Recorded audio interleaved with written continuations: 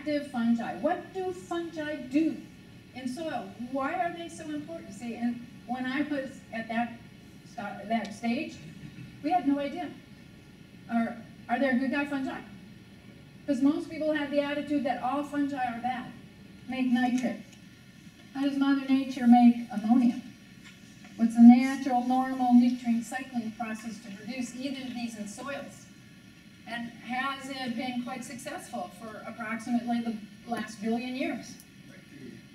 Yeah, bacteria and fungi. So I'm going to try to get to all the mechanisms here. But if we're in a bacterial dominated soil, and we only have bacteria, you're only going to have nitrate. The dynamics in soil. So as bacteria are eaten by the protozoa, the nematodes, nutrients are being released, and your plant is going, thank you. Pizza delivery guy came to the door. Um, think, green material, C:N ratio about 30 to 1. And you want about 10% of the pile high nitrogen containing material, C:N ratio around 10 to 1. Because what is this species of cilia? It's got a really wonderful name that I can't even remember anymore because I don't care. Uh, the, the diameter on this field is 450 micrometers.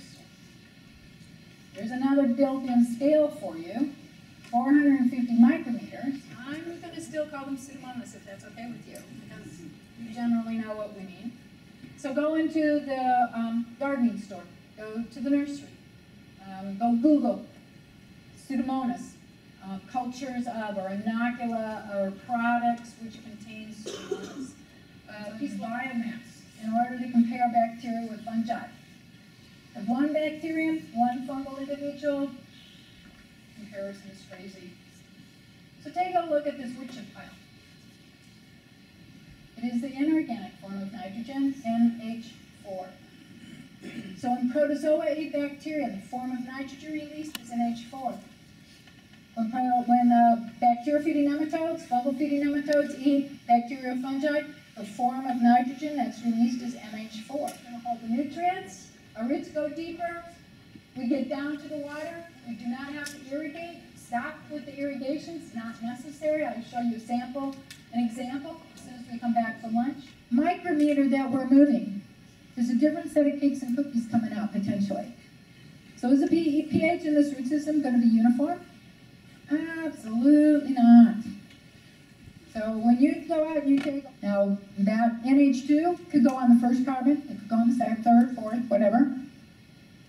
Just depends on what plant requires. Now that amino acid can be carried by the phloem and the xylem to wherever your plant requires. But if my plant also needs sulfur, under all the conditions that your plant is going to be experiencing all through the growing season, will we have the protective organisms there? Like all you've got is 5,000 different species.